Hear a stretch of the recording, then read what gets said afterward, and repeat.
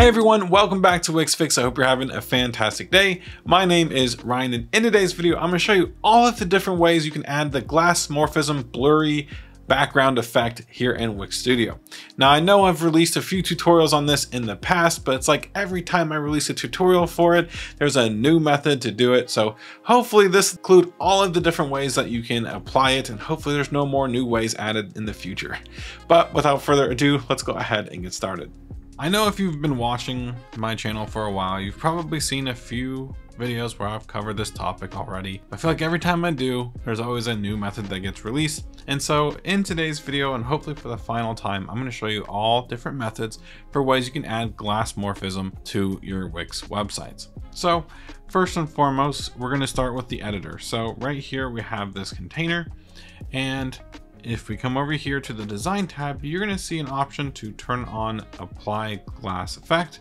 If we turn it on, you can kind of see that it applies like this kind of glassy texture to the container. Cool thing is, is we can of course adjust the brightness of the color and we can even adjust the intensity of the blur. So if we only want to be kind of a more subtle blur, we can do that. We can even turn the opacity of the color all the way down and literally just make it a blur effect if we want to. But we can of course apply a little bit of color. We can even change the color to be darker or maybe blue or whatever color you want. Um, but for now, just so you can see it easy on YouTube, I will leave it as white here.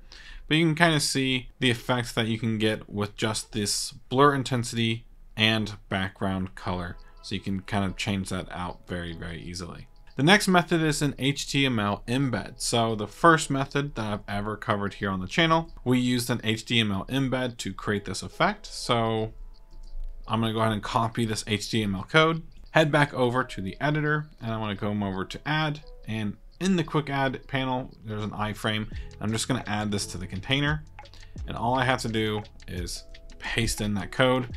And here is where we can actually set the blur amount. So I'm just gonna set this to 25 so it's not too extreme.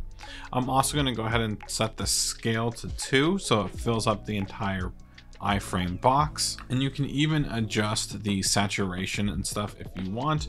But once you're happy with this, you can go ahead and press apply and then stretch it to the container.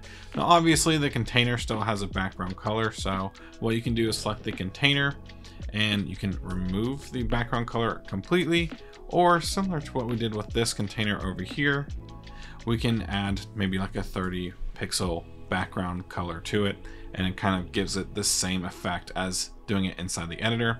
You can notice that there is a slight difference um, in this and if I go ahead and preview the website some you can notice that when your user hovers over the embed uh, and they accidentally scroll there's some random scroll bar here and that's kind of annoying and there's nothing you can really do about it even if you do overflow. Hidden and press update. And we preview the website uh, that actually did work so never mind. I guess that was fixed from when I initially first did that. I'll be sure to update the code here in my HTML embed code. Again that will be linked in the description but it's kind of nice to know that that no longer is an issue.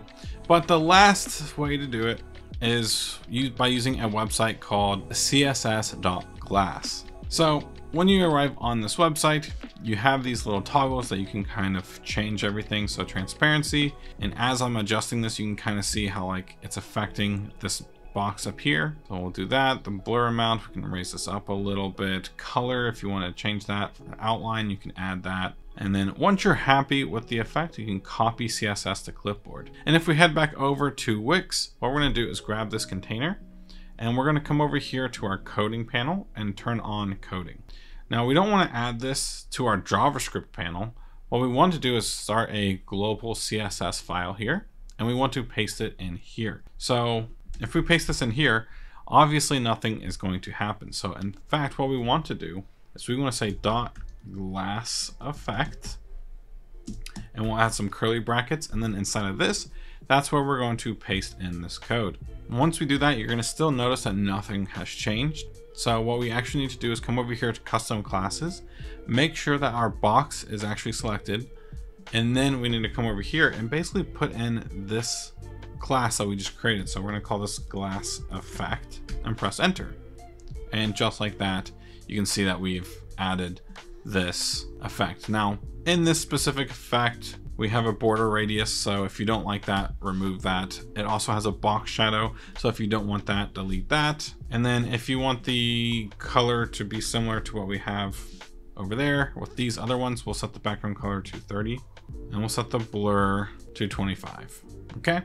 And once we click off, you're gonna see it basically looks the same as these other ones that we have here.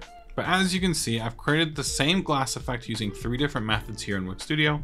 And if I just go ahead and preview the website, you can kind of see how the glassmorphism effect is working with all three. Honestly, there's not really much of a difference. I would say they actually look pretty much identical. Like there's no major quality difference in either choice that you choose here. So that's really good. I would say like the video isn't the highest quality, so it kind of makes it look low quality, but the glass effect itself looks really, really good with all three methods.